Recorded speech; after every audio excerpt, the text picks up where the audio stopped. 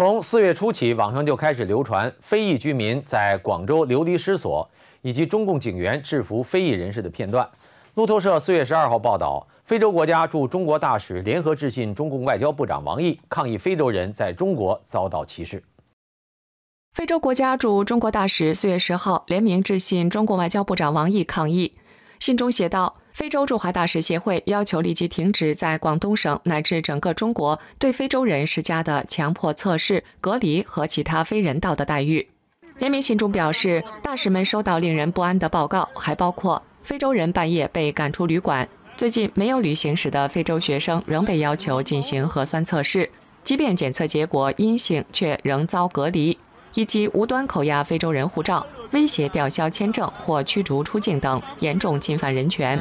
非洲大使们在信中指出，这些污名化和歧视行为让人产生一种印象，好像中共病毒是非洲人散播出来的，但事实上并非如此。中共近期把防疫焦点放在境外输入个案上，国内仇外情绪也日益增长。加拿大华裔作家盛雪表示，在这个背景下，广东等地对非洲裔的举措已经不光是中非关系的问题，而是指向更为深层的问题。就是在中国，到底现在真的是不是已经像中共当局所说的是零增长？再有一个呢，对那些感染的或者是没有感染的，实际上中国政府他的做法都是不守规矩的。这并不是一个种族歧视的问题。而是中共对所有人，只要是没有特权的人都予以歧视的问题。啊，应该说呢，这个坑就是中共自己挖的。啊，那当疫情爆发的时候呢，中国和非洲的来往依然不断。啊，现在的所谓非洲输入病例，也是这种所谓的亲密的中非老朋友关系造成的。因为他疏于防范嘛，就导致这样的结果。另一条引起中国网民关注的视频是，尼日利亚驻广州总领馆的官员和中方防疫部门人员力争要求交还本国国民被没收的护照。他说，尼日利亚护照属于尼日利亚政府，没有国家有权可以没收。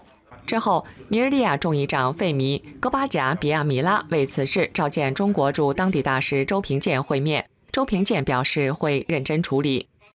很多的中国人看到了这个视频之后呢？是无法接受的，因为中共现在对尼日利尼日利亚外交官的那个态度非常的奴颜婢气，反而是因为尼日利亚外交官出面之后，就争取到了他们的公民应有的权利。可是这几个被扣了身份证件的人，假如是中国人呢？有人会被中国人站出来争取这些权益吗？显然没有，因为迫害中国人人权的就是中国政府。中共政府否认有任何歧视的行为。中国外交部官网十二号深夜刊出发言人赵立坚谈话灭火，声称中非是好朋友。但根据推特账号 Black Limited China 四月十一号发出的视频，广州执法人员表示，所有黑人都要隔离，是按上级要求。那感染了光隔离我们，为什么其他的人不隔离？有啊，有啊，是其他隔离啊，前十五楼已经已经都要隔离啊，全部黑人隔离。全部黑人隔离，华人呢？白人呢？为什么你们不隔离他们呀？你们换位思考一下，我们中国同胞也有在国外的，也有在非洲的。如果这个事情传出去，你想我们的同胞在那边会怎么样？